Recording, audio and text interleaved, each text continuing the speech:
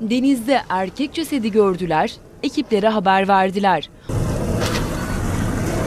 Olayın adresi İzmir'in Konak ilçesi. Sabah saat 7 sularıydı.